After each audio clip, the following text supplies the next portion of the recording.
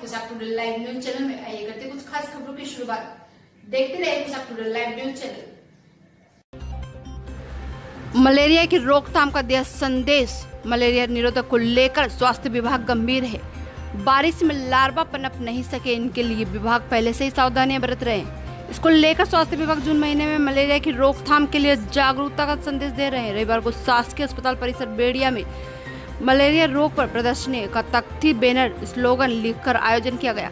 मुख्य खंड चिकित्सा अधिकारी डॉक्टर विक्रम सिंह सोलंकी के निर्देश पर प्रदर्शनी लगाकर मलेरिया से बचने के उपाय बताए गए। Medical officer doctor Abhishek Mukati एवं डॉक्टर राम बिगला ने बताया कि बारिश के पूर्व मलेरिया की प्रदर्शनी लगाकर मलेरिया डेंगू कैसे होता है, यह किस तरह फैलता है, इसके लिए क्या उपाय करना चाहिए, आदि जानकारी ग्रामीणों को दी गई। मलेरिया बुखार आने पर तुरंत डॉक्टर को दिखाए। ग्रामीणों को जानकारी देने पर लोग जागरूक होंगे और मलेरिया की संख्या भी कम होगी। बड़वा ब्लॉक की मलेरिया विभाग की तरफ़ से प्रदर्शनी है। क्या सुझाव लोगों को दे रहे हो आप?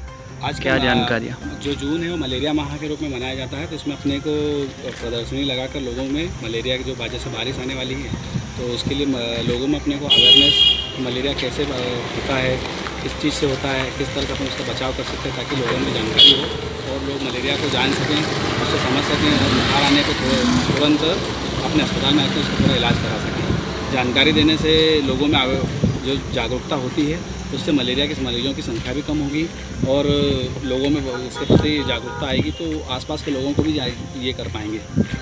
और गाँव में लगाने का भी है क्या कुछ? हाँ जैसे पूरा बड़वा ब्लॉक है, हमारा तो बड़वा ब्लॉक में जगह जैसे काटकूट बलवाड़ा, इधर भी प्रदर्शनी लगाई गई थी और बाकी और जो जैसे व्यवस्था देखते रहिए लाइव न्यूज़ चैनल आगे की खबर जारी रहेगी।